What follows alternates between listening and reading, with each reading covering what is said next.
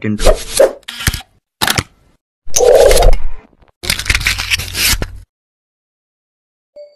Hi guys! Welcome sa aking bagong vlog. Today's vlog natin guys, gagawa tayo ng pulutan. Kasi meron ako yung pera na pulutan. October 29 ngayon guys at walang pasok. Uh, may emperador light ako dito guys. Baka naman emperador light. So namalengke na ako guys. At bumili na ako ng pwede natin ipulutan. Yan, papakita ko sa inyo. So, yan yung nabili natin guys sa palengke. Uh, tinimplahan ko na siya ng asin, betching, at saka yung ating paprika. Hindi naman maanghang yan guys. Uh, nakakadagdag lang din ng aroma, tsaka pampakulay dun sa ating chicharong bulaklak. Yan guys. Chicharong bulaklak yan guys. Nabili ko siya 170 isang kilo na yata guys yan.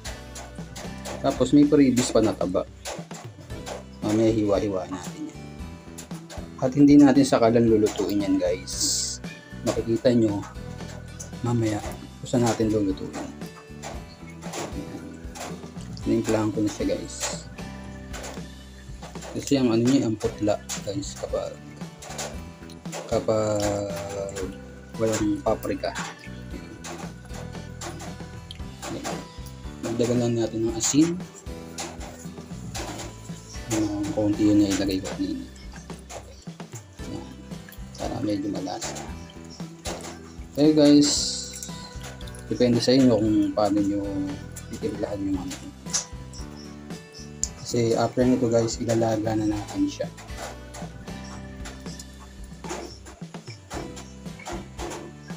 sa akin may paprika lang. Siguro sa iba, kalamansi, asin, bechin. Para kayo wala guys. Kasi sa inyo naman yun. Yan. Set aside ko lang yung mga ano, mga gamit ko. Kaya na siya. Yan. Lagay na yung pinaglutuan natin yung sa kalan.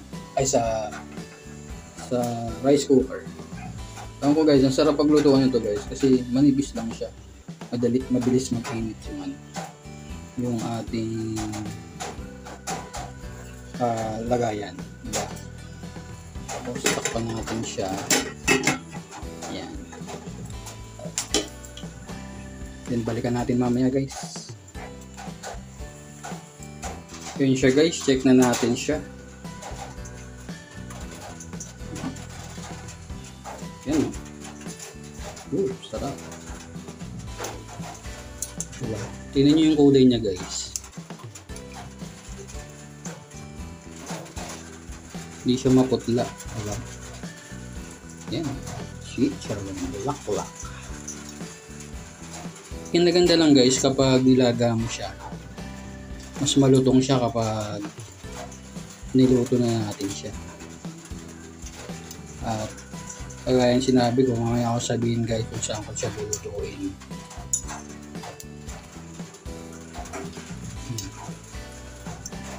Mamaya pa ng konti guys at kaya yung hanguin tapos hiwa-hiwain na natin. Yan. Ooh, sarap. Hmm.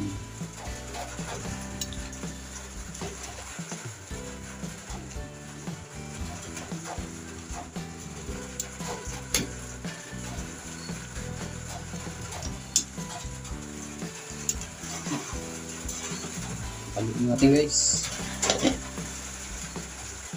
So, ayan na siya guys. Uh, tingnan na natin.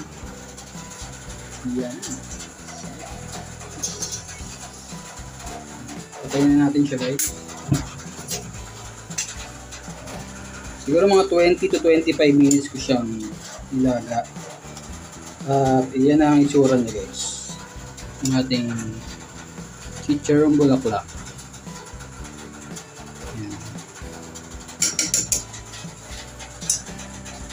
After nyan guys, didrain lang natin siya para mawala yung tubig.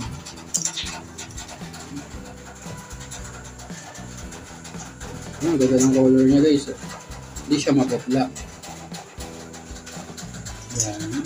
Lagay lang natin siya dyan.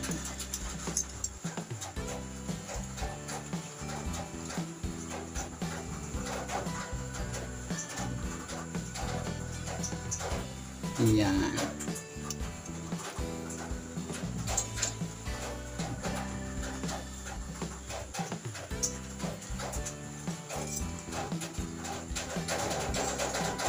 Madami rin pala yung 170 na ano guys. Oh. Halos tatlong ano siya. Tatlo. Yun yung pangatlo.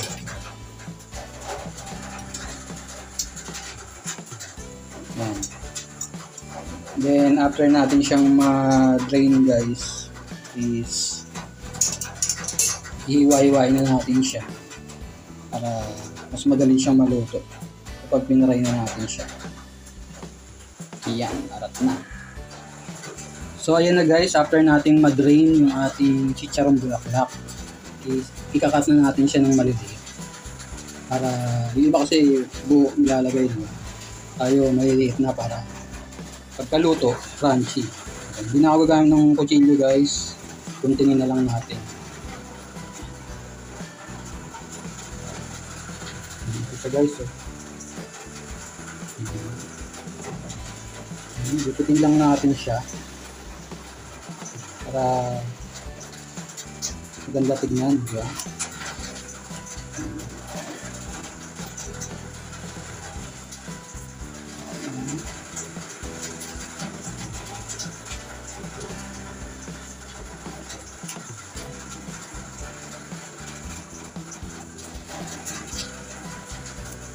Yan. Ito guys, pwede yung timplahan kung tingin nyo, kulang yung timpla nyo kanina doon sa nilaga. Ah, madali na sa gugutin ngayon guys. Diba?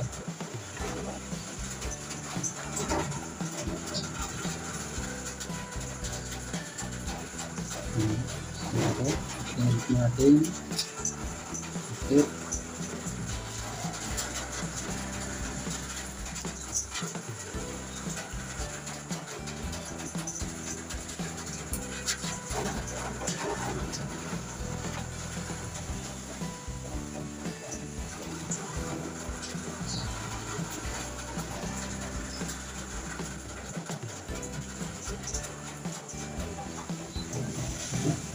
Dia.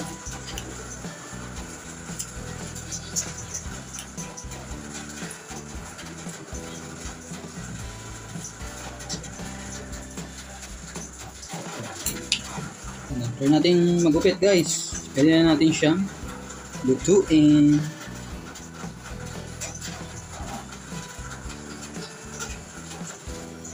So dito natin siya lulutuin. Lahat ba yan? Yan. Then ilang minutes. Saksak muna. Pala muna natin. Sa air fryer natin siya lulutuin. 200 degrees Celsius. 200 degrees Celsius. 15 minutes. Then 15 minutes. Yan. Wait lang natin siya guys.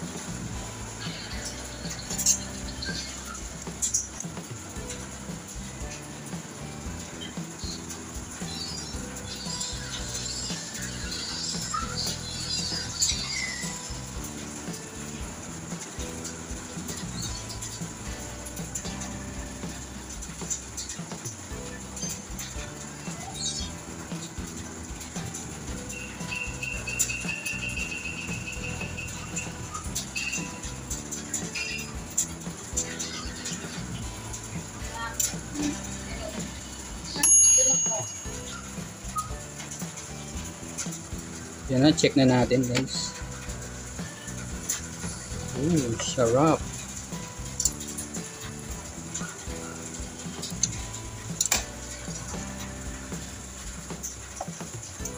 Balik ka rin lang natin. Para maluto lahat.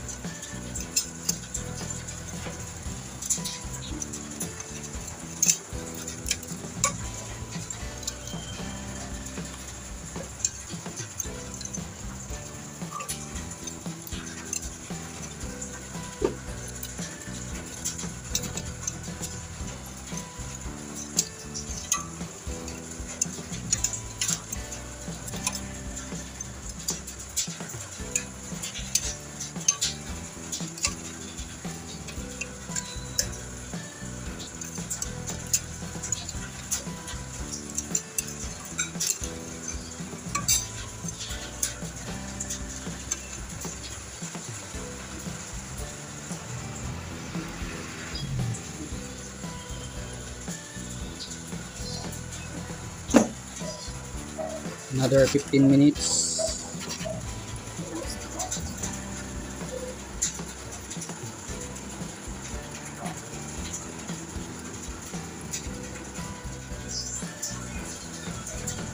Guys, kukunin na natin.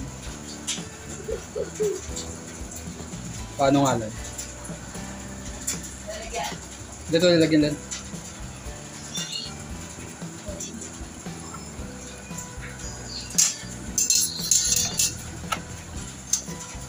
Yan eh. Sarap.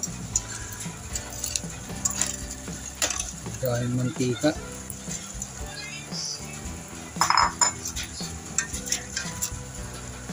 Mm. Yan, mamaya titikman na natin siya. Sama yung pinatler nating emperador. Yan. Okay. Mm. Iba talaga yung lutong niya kapag nilaga mo siya. Yan. Sarap na guys, kain na tayo. Ayun ba? Yan. Subukan na natin siya guys. Namin yung ating emperador na ipaparis natin. Ito guys. Ayun. Ito. Siyempre, may kasamang suka na may bitin.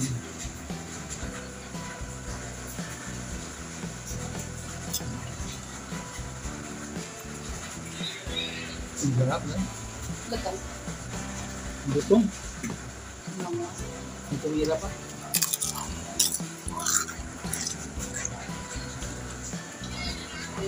na. Lutong test.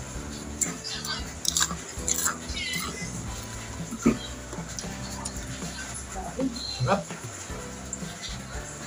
Then guys, huwag niyo kalimutan mag-like and subscribe sa aking YouTube channel. Sampalaboy. Kita niyo Bidjana at ako Cherno. Hanggang sa susunod na video guys. Bye-bye.